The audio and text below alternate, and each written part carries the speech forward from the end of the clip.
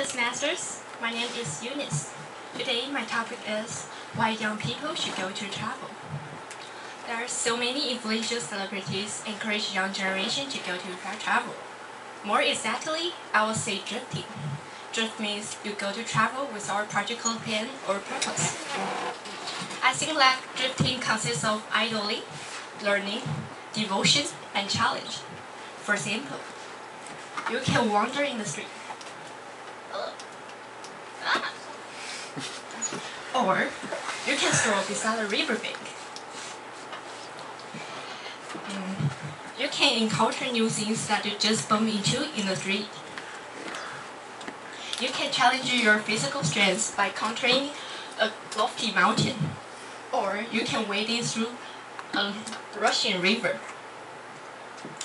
Besides, you can devote yourself to the local needy people to help them heartily inscribe their grateful smiles in your memory. Thus, I'm going to cite some meaningful quotations. The quotations are from some influential big poets that influenced Taiwan's art and literature a lot.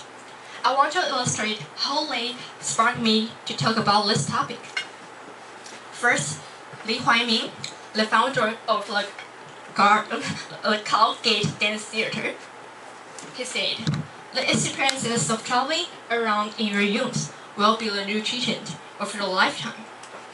He believes that it is very important to broaden your horizons when you are still young, and then you will become an insightful person.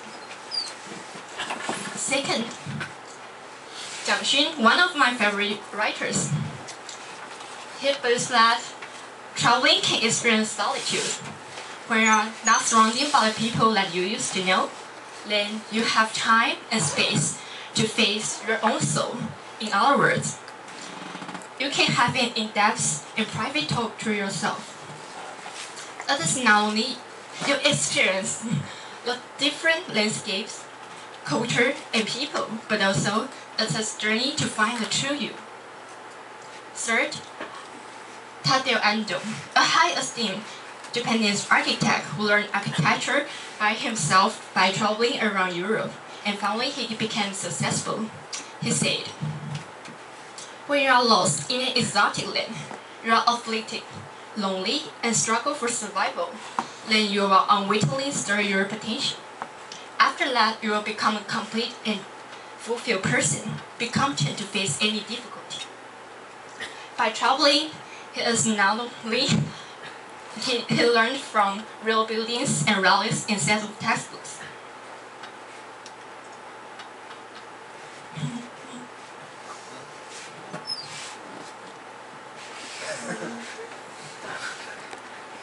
um, Love's great person inspired me a lot and I'm willing to challenge. Even my high school history teacher, who is also my mentor, has had a habit of traveling around since she was very young. Her stories often dazzled me and made me want to become a person just like her. I close my eyes and imagine I'm in Spain, Warsaw and Dundee. I'm in France, Eiffel Tower. I'm in German, Neuschwanstein Castle. I'm in Italy, Colosseum. I'm in Greece, Agency. I'm in Russia, Iron Dome Church. My aspiration is to become an exchange student in my junior year and then be a backpacker traveling around Europe as a gap year. Then I'm going to apply a graduate school to study comparative literature or international relationship.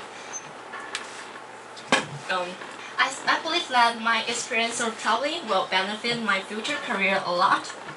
And that's why I'm here in Toastmaster Club to sharpen my English skill and I hope I can learn English with everyone and we can travel a lot, travel together. Thank you. Back to TME.